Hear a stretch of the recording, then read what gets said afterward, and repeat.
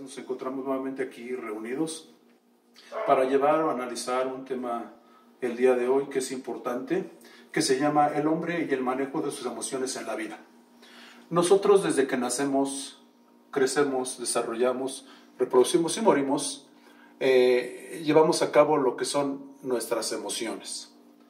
Y principalmente los niños, los jóvenes y los adultos en la vida cotidiana manejamos o ponemos en juego estas emociones que salen a flote como una necesidad. Entonces, primero, antes que nada, vamos a ver nosotros qué es una emoción. Una emoción es una reacción biológica ante un estímulo. Y que un sentimiento es una reacción también, pero a una emoción. Y principalmente los sentimientos son percepciones mentales y las emociones son percepciones biológicas. Vamos a ver nosotros que el hombre en su medio, en su entorno, en su quinesfera donde se desarrolla, donde se desenvuelve, va a encontrarse siempre presente esas emociones. ¿Por qué? Por los problemas, las preocupaciones, el estrés y esos cambios que llevan o que giran en su entorno. El hombre siempre se va a poder desenvolver en, en cinco esferas que son la familiar, la laboral, la social, la sentimental y la cultural. Dentro de esas este, esferas donde él se desenvuelve están presentes las emociones. Y bueno, la ciencia que se encarga de estudiar las emociones es la psicología. Es aquella ciencia que em, eh, investiga, crea su comportamiento de lo que es el hombre frente a otras personas o frente a los acontecimientos que ocurren. Y estos pueden ser positivos o negativos, cual sea el caso. Las emociones son consecuencias de un estado de ánimo, provocadas por recuerdos, por anhelos o por sentimientos.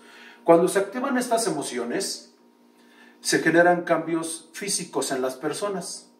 Y bueno, vamos a ver nosotros cuáles son esos cambios, los cambios psicológicos, cambios de conducta, cambio en las cuestiones de conducta cuando tenemos nosotros problemas en la cuestión laboral, eh, cuando tenemos nosotros problemas en la cuestión sentimental o en la cuestión económica o en la pérdida de un ser querido.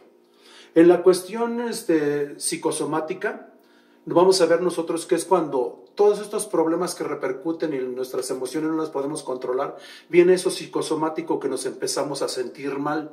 ¿Sí? Y ahorita vamos a ver más adelante cuáles son los problemas o enfermedades que se generan a través de lo psicosomático. Pero también las emociones se van a estar presentes en los cambios fisiológicos, principalmente en las mujeres y en los hombres en, en la edad de adolescencia y en la edad adulta. Bueno, vamos a ver cuáles son las emociones. Las emociones, vamos a ver que tenemos presente a la alegría, que se va a siempre a estar presente de color amarillo. El, el enojo, que es el color rojo que siempre va a estar irritado. Y bueno, también esas emociones van a pasar por lo que es el miedo, el pánico a de que yo pueda perder mi trabajo o que qué voy a hacer si me quedo solo en la vida pero también va a estar presente la emoción que es la calma, que va a estar presente de color verde, la tranquilidad, la paz, como cuando vamos un día de campo, y la tristeza. La tristeza también va a estar presente. La tristeza se va a encontrar de color azul y la vemos nosotros que su emoción es está llorando, está triste, su nombre lo dice.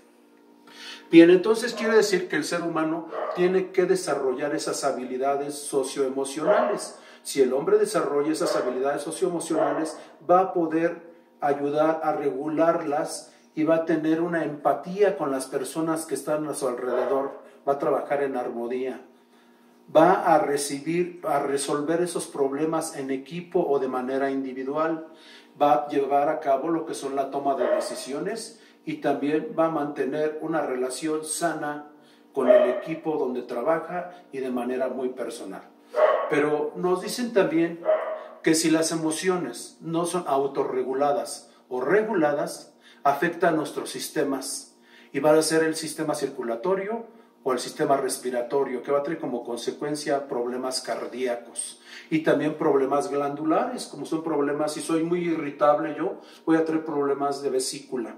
Y bueno, una de las causas importantes en el siglo XXI que estamos viviendo es el estrés llevar una vida muy agitada, muy apresurada, el estrés y poder, no poder regular esas emociones nos traen como consecuencia problemas muy severos. Entonces, considero yo que en la sociedad en la que vivimos, yo creo que la mayoría de las personas por llevar esa vida de estrés y agitada, no llegamos nosotros a llevar a cabo la regulación de estas emociones.